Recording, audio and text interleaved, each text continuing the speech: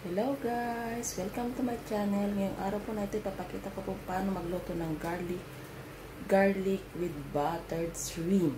Yan po. Ipapakita ko po sa inyo guys ha. Yung ingredients. Garlic, butter, salt, and Sprite. Binabad ko po yan kanina ng 2 hour. Then mag-add ka po ng 1 teaspoon of black pepper powder para po sa kanyang panlasa. Po guys, first po, binoboil ko po yung kaninang minarinate ko na po na hipon sa Sprite po. Ayan. Minamarinate ko po yan ng 2 hours.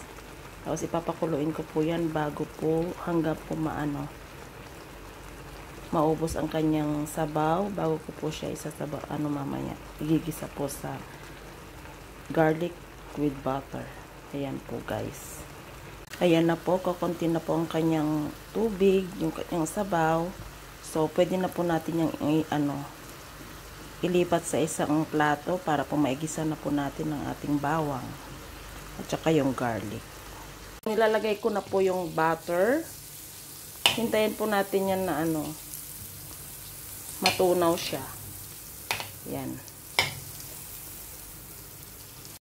Ayan na po, nilagay ko na po yung ano, yung garlic.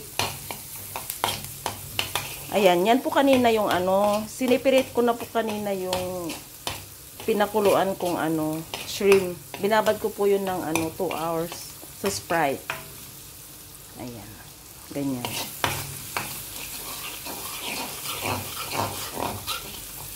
Ayan, hintayin po natin yan na mag-brown konti bago natin i-ano, ilagay yung shrimp na pinakuluan ko kanina. Na, na, nakababad po yun kanina ng ano ng Sprite na may Ayan po guys. Ganyan po yan ang pagluto ng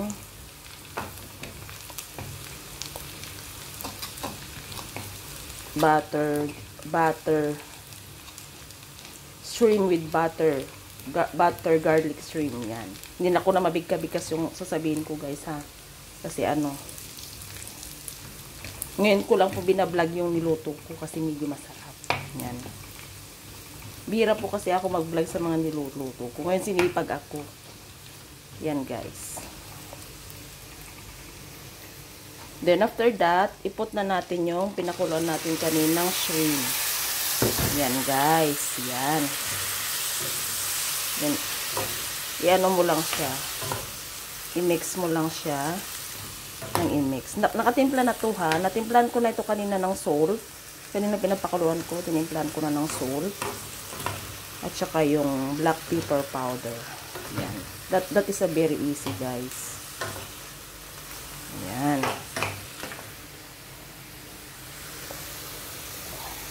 Magulo no? Magulo si host magano. Ayan.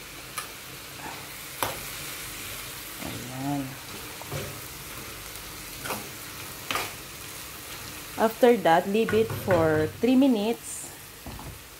Pwede na pong kainin mamaya yan. I-leave ko lang siya for 3 minutes guys. Para sa kanyang pag ano, maluto po ng maayos. A few moments later.